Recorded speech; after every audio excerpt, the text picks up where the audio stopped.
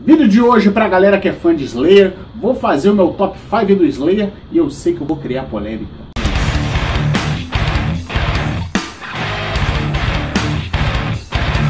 Fala aí galera, beleza? Rodrigo aqui, sejam todos muito bem-vindos ao Rods Online. Se você está assistindo pelo weplash.net, cara, vai lá no YouTube, acessa o canal do Rods Online, se inscreve no canal. Vou pedir a todos para já deixar aquele like maroto. Muito obrigado a quem está retornando a casa. E hoje vamos falar do Slayer, Vou fazer um top 5 do Slayer, né? Dos meus 5 discos preferidos do Slayer. E aí, cara, eu vou pedir para você fazer a sua listinha também. Em vez de você me xingar que não concorda com a minha listinha, faz a sua listinha do, do Slayer aí. Quais os seus 5 álbuns preferidos do Slayer? Coloca aí nos comentários, beleza? Bom, então para começar o meu top 5, vou começar citando Hellweight, segundo álbum do, do Slayer. E é um álbum que, para alguns fãs da banda, ele é um álbum até subestimado. Mas é um, é um álbum que eu considero dentro do, do top 5. E aí eu destaco a faixa título, a faixa Kill Again e At Down They Sleep.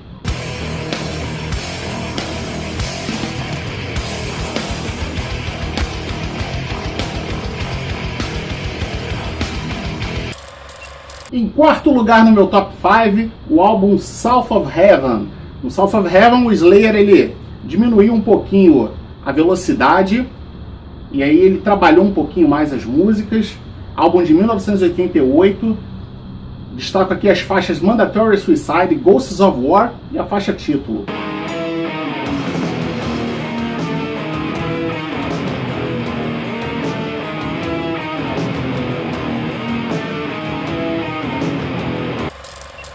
Terceiro lugar no meu top 5 do Slayer, Show No Mercy, álbum de estreia do Slayer, álbum de 1983, e que a gente percebe uma clara influência que o Slayer tinha do Venom.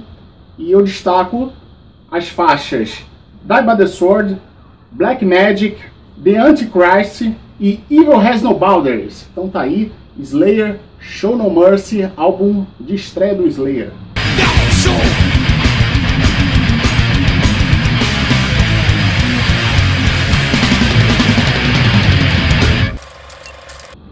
2 do meu top 5, e agora eu sei que eu vou causar polêmica. Raining Blood. Muita gente vai dizer que o Raining Blood é o melhor álbum do Slayer, é o número 1. Um. Eu discordo e depois eu vou explicar o porquê. Bom, Raining Blood, álbum de 1986. Muita gente tem esse álbum aí como o álbum definitivo do Slayer. É um álbum muito bom, mas eu vou botar ele em segundo lugar. Aqui o Slayer ele elevou o som dele a um novo patamar, né? Vinha ali do Hellwaits. E aí aqui eles aumentaram a velocidade, encurtaram as músicas. E aqui eu vou destacar as faixas Raining Blood, Angel of Death, Jesus Saves e Altar of Sacrifice. Então, Raining Blood, álbum de 86, no meu top 5 do Slayer, álbum número 2. Angel of Death!